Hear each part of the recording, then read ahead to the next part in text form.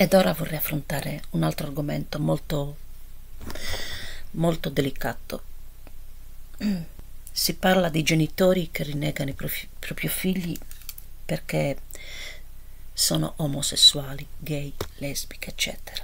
Si parla di genitori che credono a falsi valori che gli furono inculcati da tempo dei tempi e soprattutto credono a coloro che eh, affib- affibbiano um, la diversità sessuale la abbinano a una malattia.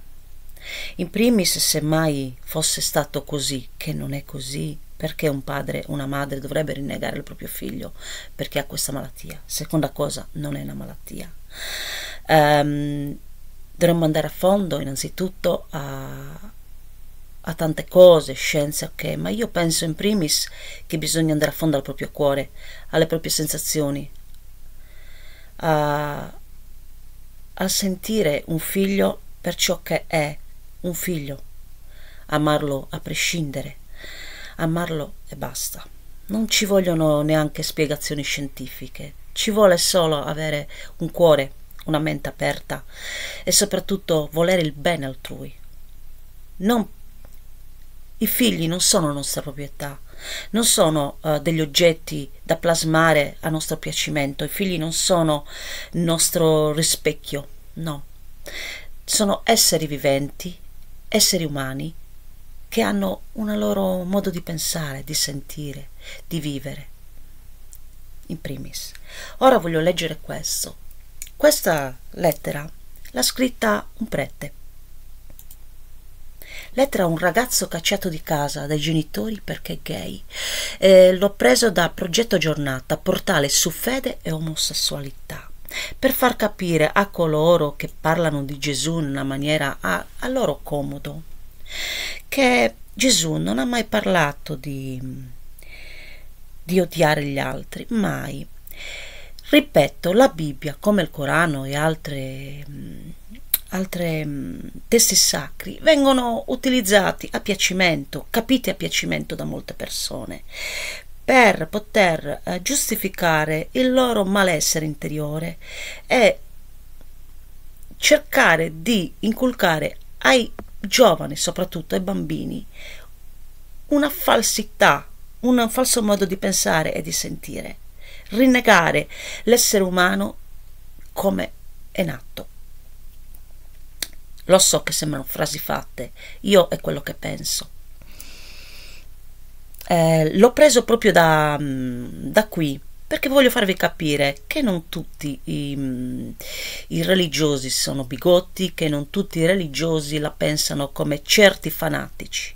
Quindi mettetemi una mano nel cuore e cercate anche di capire una cosa che non sono una parte, parte di, mm, di parole di Gesù Cristo è mai uscita la parola rinnega tuo figlio perché è gay, mai.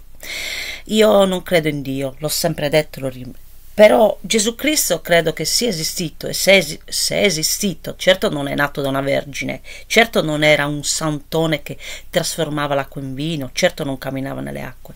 Credo fermamente che se esistito fosse una persona di cuore, una persona saggia, ma buona, soprattutto buona che volesse semplicemente amare gli altri per com'erano. Ok, detto questo, leggerò questa. È stato scritto il 18 settembre 2008. Riflessioni di padre Jean-Marie Martin, accompagnatore spirituale del gruppo Devenir en Christ, en in Christ, di Lyon, Francia, liberamente tradotto da Dino. Omofobia. Novafobia? Certamente no. L'odio nei confronti dell'omosessuale risale senza dubbio dalla notte dei tempi, ma il termine omofobia compare improvvisamente per la prima volta ai nostri giorni, nello stesso momento in cui veste la luce la difesa delle persone omosessuali che hanno subito delle aggressioni. Non è troppo presto, viene riconosciuto come un delitto, l'insulto e l'aggressione rivolta a persone omosessuali e questo significa che finalmente le si considera come persone in modo completo, che hanno diritto al rispetto e alla dignità.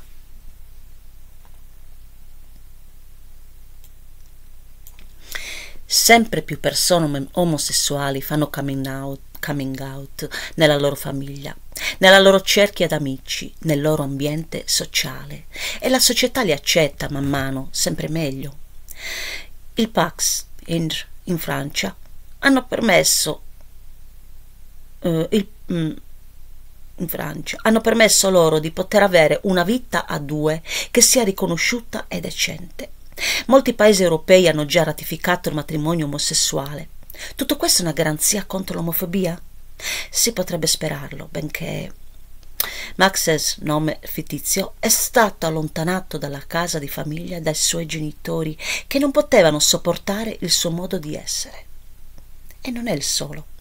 Alcuni genitori rinnegano i loro figli, colpiti come sono dalla vergogna a causa della devianza del loro figlio,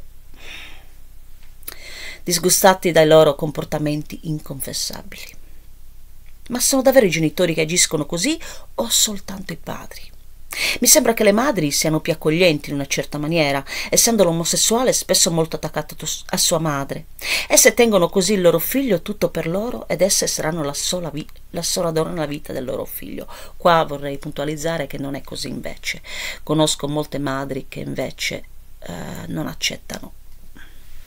Maxens, tuo padre ti ha, fa- ti ha fatto andare via con grande strepito e senza preoccupazioni, senza preoccuparsi di ciò che sarebbe stato di te. Di chi c'è davvero, davvero più vergogna? Di, scusate, di chi c'è davvero più vergogna? Di te o di lui? Di lui, come padre di un omosessuale? Forse lui se lo rimprovera inconsciamente eh, perché non è stato capace di fare un uomo. La sua immagine virile è stata intaccata Oppure lui ti rifiuta per altre ragioni, conflitti incessanti e violenti tra voi due, oppure paura di garantire per una, casa, una cosa che invece la sua bontà morale rifiuta. Questo è sempre fra, fra virgolette, ragazzi. Eh? Ho timore di perdere la faccia di fronte ai suoi amici o alla famiglia, qualora non reagisce energicamente. Paura di essere deriso dai vicini di casa, oppure estremo rimedio a, cuor- a cui estremo rimedio a cui ricorre per farti una specie di elettroshock che spera essere salutare. Cosa ne so? O allora? Eh, ci si domanda sempre, aggiungo io, che cosa scaturisce nella mente di un genitore che fa questo. Diffido sempre di quelli che sono più violenti nei confronti degli omosessuali. Mi chiedo se non abbiano anche loro con se stessi i problemi che hanno rifiutato ma non per questo sospetto tuo padre, Maxens. Quest'ultima riflessione è un fatto incidentale. Ciò non toglie che avresti potuto ritrovarti in mezzo alla strada, in balia di tutte le tentazioni, di tutti i rischi, se non avessi avuto un amico in grado di accoglierti. Gettare per strada un figlio omosessuale per il fatto che è così non equivale forse a dargli una botta in testa, invece di dargli un appiglio per farlo cadere in chissà quale miseria sessuale e in una vita precaria e inadeguata a preparargli un avvenire? Riflettete, genitori. Voi non mettete al, al, mondo dei figli per voi, ma tramite voi. E ciò che vostro figlio diventa nella sua profonda natura non dipende da voi. Mettendo al mondo dei figli, avete il dovere di dare loro tutto ciò di cui hanno bisogno per vivere, studiare, curarsi, essere al riparo del pericolo e preparare il loro venire. Anche se vostro figlio è omosessuale, ha gli stessi dirisi, diritti degli etero e voi avete gli stessi doveri verso di lui.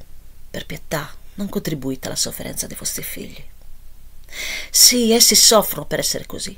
Certo che soffrono, allora non fissatevi sul concetto del godimento sessuale che vi crea turbamento. Piuttosto fate in modo di non aggiungere altro dolore alle so- loro sofferenze. Fortunatamente per te, Maxens, tu riesci a sfuggire al destino di essere un nomade senza casa, al, vaga- al vagabondaggio sessuale, dato che il tuo amico può ospitarti in casa sua. E tu da lui sei amato, tu sei amato. Quanti omosessuali soffrono la solitudine, in continua ricerca di un'anima gemella che spesso è impossibile trovare. Se un giorno dovreste guardare sulle inserzioni, no, non fatelo. Trovereste degli intermi- interminabili elenchi di persone disorientate e abbandonate. c'è motivo di rimanere sconfortati.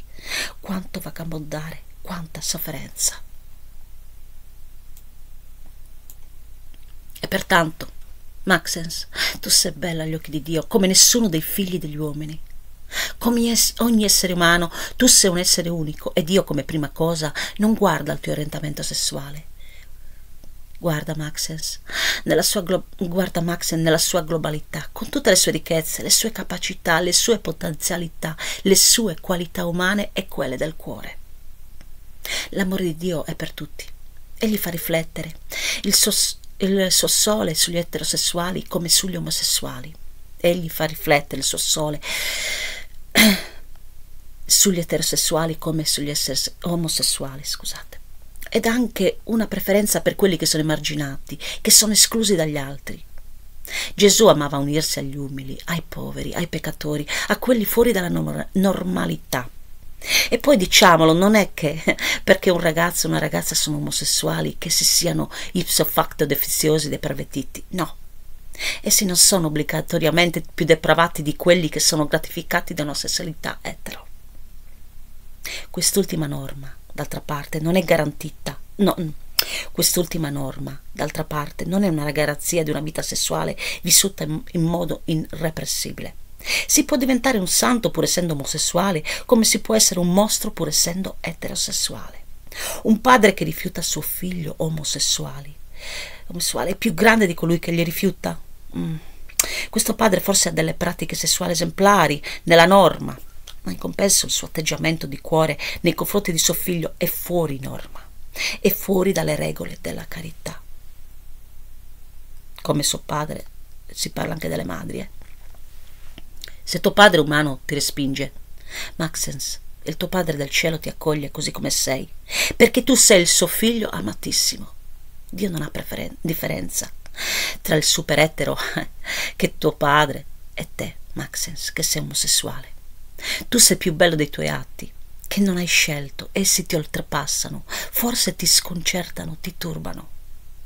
Tu stesso forse preferiresti essere attratto dalle ragazze, pavoneggiarti con una bella compagnia, compagna, far impallidire e ingelosire ne fa impallidire di gelosia agli amici, farti una famiglia con una ragazza che ameresti appassionatamente, ma la realtà è che sono gli uomini che ti attirano, che sono gli uomini che tu senti capace di amare. Allora, dopo aver smesso di combattere con te stesso, hai ceduto, ti sei accettato per come sei, poiché non puoi vivere continuamente nella tensione, nella menzogna verso te stesso è già così pesante dissimularsi nei confronti degli altri, allora hai voluto essere vero.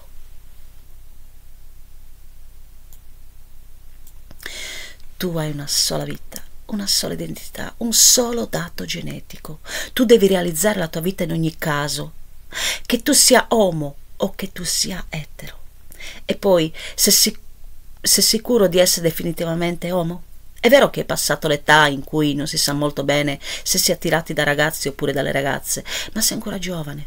Benché tu sia già maggiorenne, è possibile che, che la tua formazione non sia ancora completa e che tu possa ancora accedere alla differenza che ti farà desiderare le donne.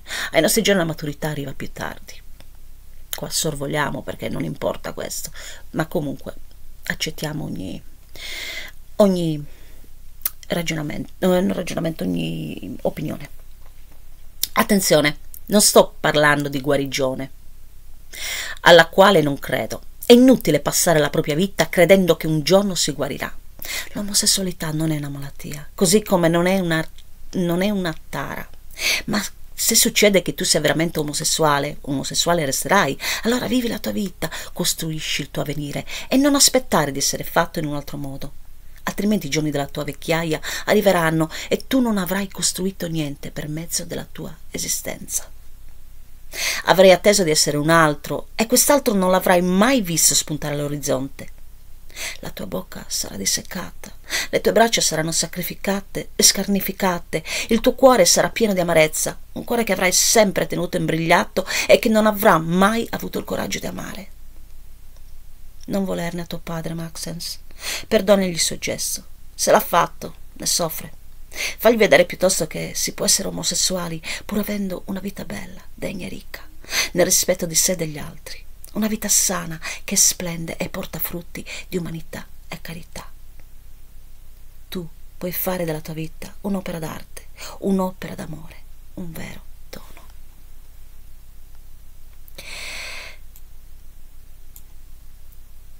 Ripeto, ho voluto prendere questa lettera perché la trovo meravigliosa e perché è scritta da un prete.